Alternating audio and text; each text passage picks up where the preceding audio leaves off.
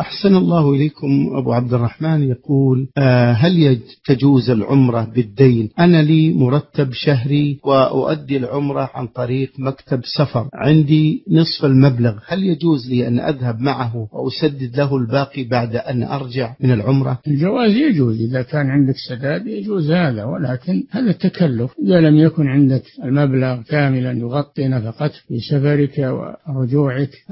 الأولى آه، لا تعتمد نعم